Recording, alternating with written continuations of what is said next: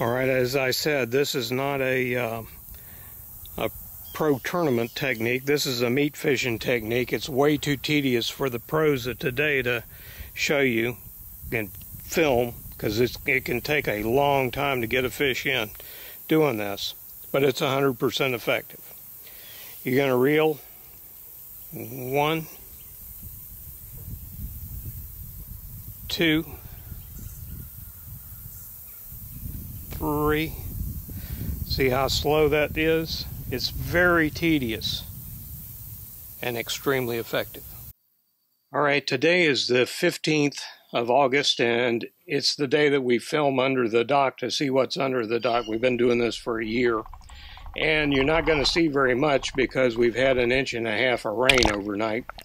So uh, I'm going to show you a, a technique from the past in the 1960s for catching bass from the bank. Now, this was a meat fishing technique.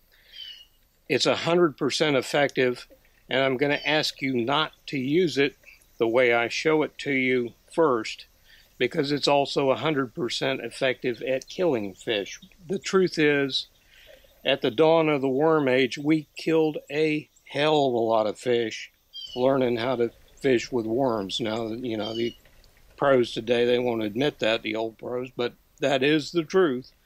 Um, we didn't know how to hook them. You'd see them hooked all crazy kind of ways. And what happened was Eagle Claw came out with this type of a hook. Now today you're lucky to find a, you know, a few cards of these if you can find them at all. They're usually in a size one or two, but uh, back in that era, this was a revolution to fish with worms, and you hooked them like that.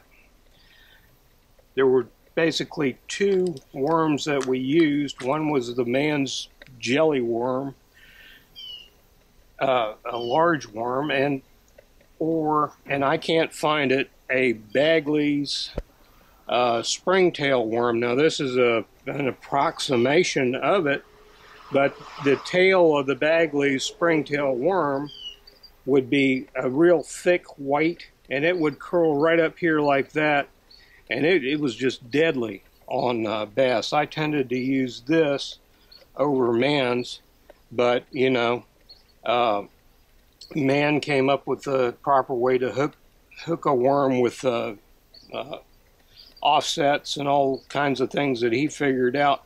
A lot of people claim that, but he's the only one with roads that, named after him that I know of. So I'm going to give the credit to him. But before that, this was the revolution that we fished with. And I'm going to fish with that today. I'm going to hook this little worm here and uh, and fish with it from the bank. Show you how to when you get a strike, uh, what that going to look like, and a crappie will hit that, a bluegill will hit it, a turtle will hit it, a bass will hit it. They all feel the same.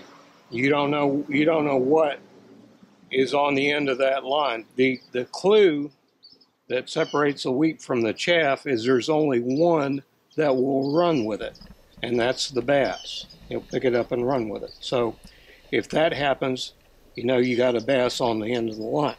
You don't know what size. The size bass does not matter. They they all feel the same, so you have to treat them all the same. Okay.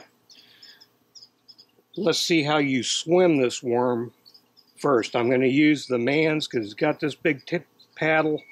A lot of people preferred that because of the action that you could get with it easier than the springtail worm. And coming toward you is a Mann's jelly worm. Now I've got the rod tip is steady and see how that, that worm head goes back and forth? You do that by doing this. One, two, three, four. All right, now you know what we're doing. Let's go catch a fish.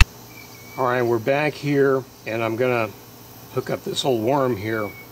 Now when you first get these, this spring is going to be really tight up against this hook. So take it and collapse it a little bit and get it to where it's really easy to come off of there. Really easy. So that when a fish does hit it, you don't have to do that herky-jerky thing. The second you just pull it, it'll hook them. Okay? That's how you set up these hooks. All right, the first technique, the one not to use, you're going to toss out. You already know to reel slow. You're going to toss out.